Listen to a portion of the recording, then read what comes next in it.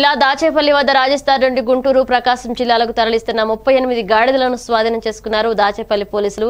గురజాల కోర్టుకు తరలింపు కోర్టు ఆదేశాల మేరకు తూర్పు గోదావరి జిల్లా ఎలేశ్వరం మండలం జే అన్నారం వద్ద ఉన్న జంతు సంరక్షణ కేంద్రంకు తరలించారు గుంటూరు పోలీసులు.